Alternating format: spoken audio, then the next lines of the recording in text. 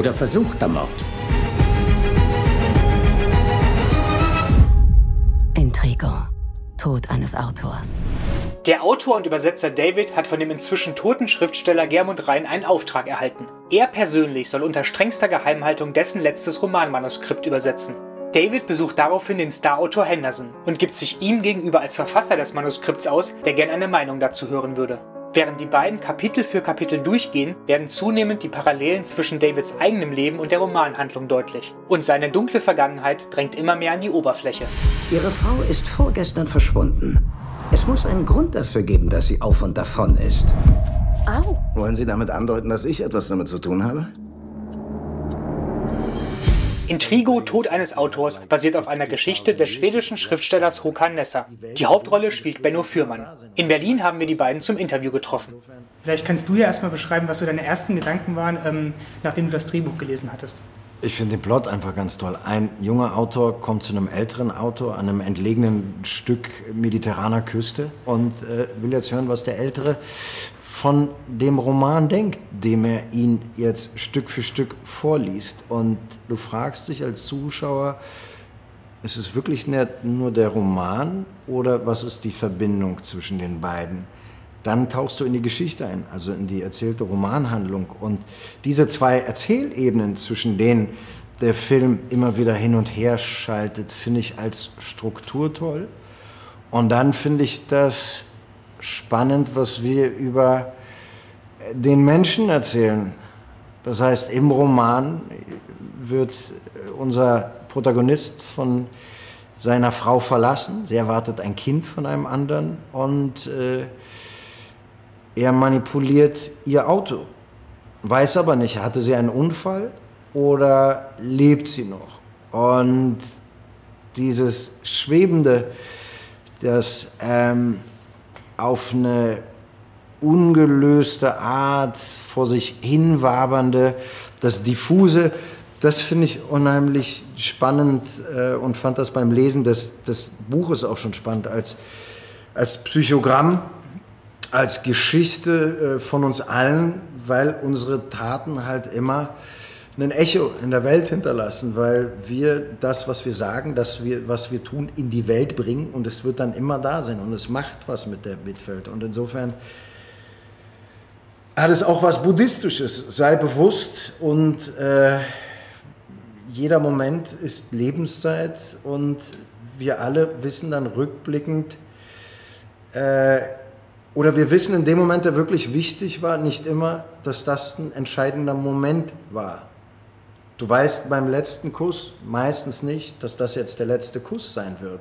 Und davon erzählt unser Film auch. Und das hat mich sehr interessiert. Mhm. Genau, und ähm, die Figur David hat ja auch so ein, äh, ein paar, sag ich mal, dunkle Seiten, die sie dann halt so ähm, rauslassen. Das Ganze ist ja auch so ein bisschen ähm, subtiler. Ähm, wie war denn das für dich als Schauspieler, eben diese Figur zu spielen? Na, Abgründe sind dankbar für einen Schauspieler. Und ein reines Lichtwesen wäre ich gerne selber irgendwann.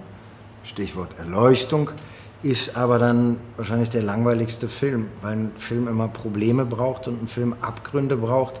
Und der Versuch, mit einer Situation fertig zu werden, Lösungsansätze zu finden, ist spannend für einen Schauspieler und im Idealfall auch spannend für den Zuschauer. Und David leidet an etwas Getanem und ähm, das kann ich nachvollziehen. Also es war jetzt nicht so eine komplexe, äh, ich verstehe den Menschen nicht, ich würde anders handeln als er.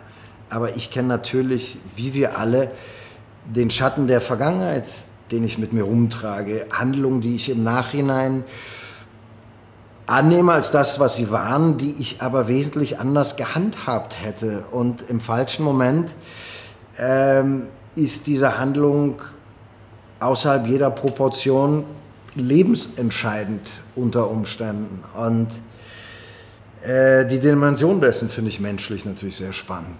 Mhm. Genau, und es geht ja auch zum Beispiel, also ohne jetzt auch den Zuschauern zu viel vorwegzunehmen, auch darum, ähm, dass halt David eine Sache unbedingt für sich wissen möchte, dass er halt Gewissheit braucht. Ähm, wie gehst du denn selber mit Situationen um, wo du halt vielleicht im Unklaren bleibst und keine Gewissheit bekommst? Also wie reagierst du da? Das macht mich wie uns alle, äh, glaube ich, wahnsinnig. Und dann ist es eine Entscheidung, wie wichtig mir etwas ist.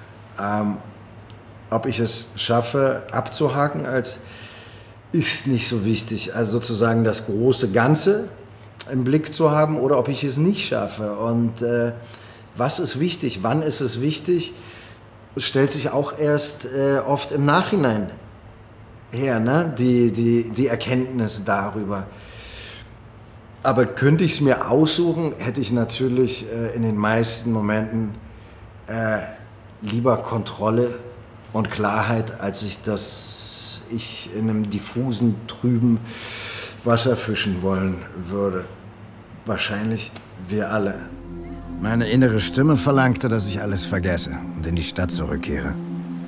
Aber irgendetwas drängte mich dazu, weiterzumachen. Ich musste der Sache auf den Grund gehen.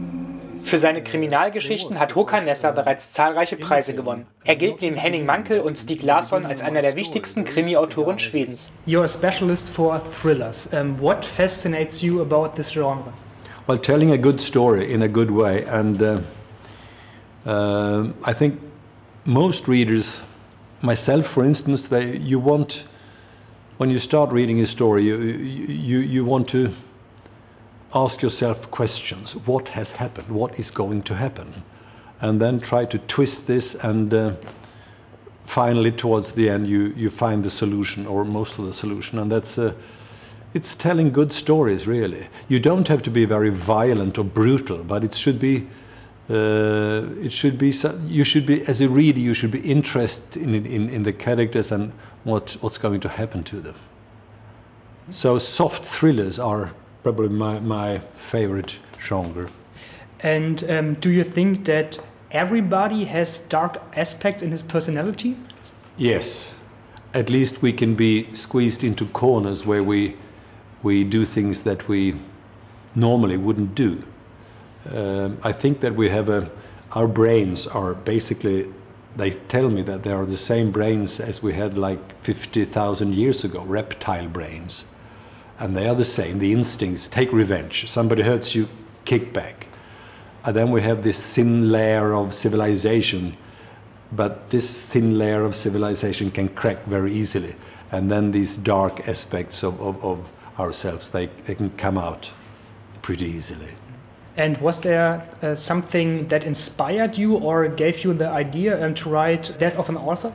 Yes, actually, there, in this case, uh, there was because um, in the film, uh, not in the beginning, but in, in, the beginning of my story, there is a guy. He's he's had two glasses of wine and he's, he's lying in his sofa at home. He's listening to music, and then he hears somebody in the audience because it's a live recording from an audience. Somebody's coughing in the audience and he thinks it's his wife. The problem is he thinks that his wife died three years ago. That was the beginning of my story. And I heard this thing, somebody, a woman coughing during a concert, and that was the starting point. That was the idea for, for the rest of, of this story. Was zog sie an? Ein Husten im Radio. Ja. Genau so war es. Ich versuchte mir einzureden, dass das Husten von jedem aus dem Publikum hätte sein können. Was mir auch beinahe gelang. Dann bekam ich ein Angebot. Oder sollte ich sagen, eine Gelegenheit. Ich übersende Ihnen mein neuestes Manuskript zur Übersetzung und Veröffentlichung. Ich untersage Ihnen, meinen Verleger in Mardam oder irgendjemand anders in dieser Angelegenheit zu kontaktieren. Das ist die einzige Kopie. Unterzeichnet Germund Rhein. Natürlich musste ich an meinem Verstand zweifeln, aber ich bekam den Gedanken nicht aus dem Kopf, dass ich es irgendwie geschafft hatte, spurlos aus Graus zu verschwinden und ein neues Leben anzufangen. Ich spürte, dass ich keine Wahl hatte. Ich musste es herausfinden. And what do you like most about the film? It's a clean film. It's uh, it's storytelling. It's uh, it's uh, it's not very modern. I mean, it, it's it's. I think it's made in a, in the way that Hitchcock did some of his films. It's very clean. It's it's. Uh, as a spectator watching the film, you can't go out and have a cup of coffee and come back and then you miss it. You, you need to be on the edge of your seat to see what has happened, what's going to happen. So it's, it's the same kind of storytelling as I try to, to, to develop as, as a writer. Dieser Mann, er verfolgt mich. Hey, warten Sie! Es ist immer noch Zeit, David.